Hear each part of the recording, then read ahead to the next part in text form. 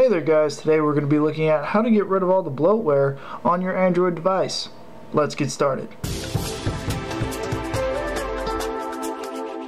So to get started, what you want to figure out is what is actually bloatware on your phone. Usually I just get rid of the AT&T uh, apps that come with the phone or any of the actual Google Plus or anything like that just because I don't use it or anything like that. Like the play movies and TV and uh, play magazines all that stuff I don't use. So it's unnecessary for my phone to be used by that so to get started what you have to do is you have to go to your settings real quick oh well settings and then we're going to scroll down or scroll up to your application manager. Alright, over here you can swipe all the way over until you get to all.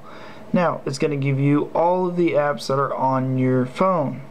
This includes like system settings and things that aren't exactly apps. So be careful on what you actually delete. So what we're going to do is we're going to click into an app that we don't want, which is AT&T Family Map. On this, we're going to go ahead and click show notification, unclick that, and then we're going to click force stop, OK, and disable it. And right now, it's not going to be on our phone, but it is still going to be on here. It's installed, but it's unable to be actually accessed through the phone, through the menus, or anything. So let's go back to the applications real quick. And as you can see, there is no more AT&T family map.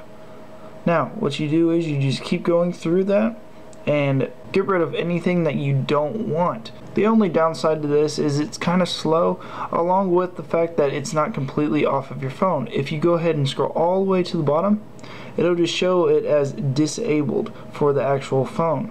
So if you ever do actually want the AT&T family maps you can click back into it and you can click enable. But this is the best way to actually get all the bloatware off of your phone without being rooted or having custom firmware.